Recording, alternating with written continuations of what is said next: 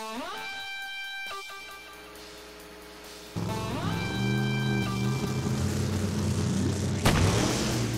Right off the line, I can tell the car got a little loose. I stayed in my lane and I pulled ahead of Barry. Around 300 foot, I felt my rear tire slipping and I overcorrected it.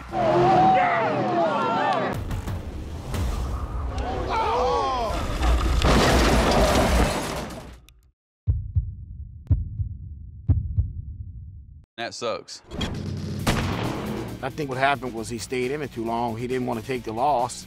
And when he right when he got around him, he started getting in trouble. And I think he just got in that heat of the moment, didn't want to lift. I managed to cross the finish line, but I lost it. And I hit the curve and I jacked up my suspension and my fenders.